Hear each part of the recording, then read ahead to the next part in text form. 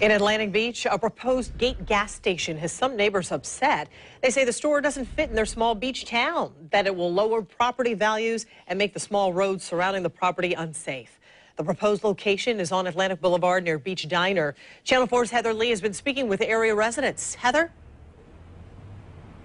Well, to give you some perspective, I'm standing in front of a separate gate gas station. This is near the town center, and some of the folks that I was speaking with believe that this is what they're going to get over in Atlantic Beach. They believe that this is just way too big, but according to the folks at Gate, that's just not the case.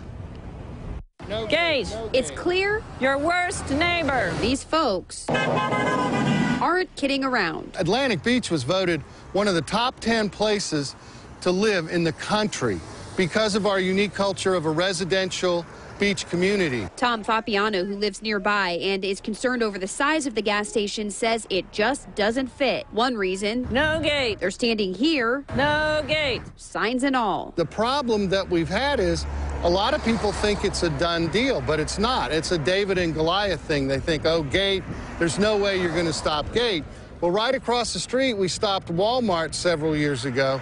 So if we can stop Walmart, I think we might be able to stop Gate. A spokeswoman with Gate says it listened to feedback in the community and even modified the renderings to include seven gas pumps and a design that is consistent with the charm and character of the community. Susan Perry, who lives down the street, believes property values will be damaged. Because who wants to live across from a gas station? The group says that they are concerned about this road right here in particular, plus the two side roads on each side of this property. They say they cannot understand how semi trucks and 18 wheelers are going to be able to navigate these roads, but also do it safely. Gates says any increased traffic will come from the Atlantic Boulevard side.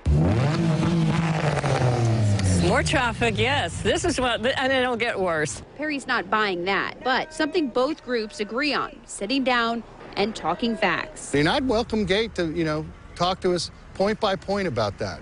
And I'd like to talk to some other people that have had Gate as a neighbor and say, hey, what kind of neighbor have they been?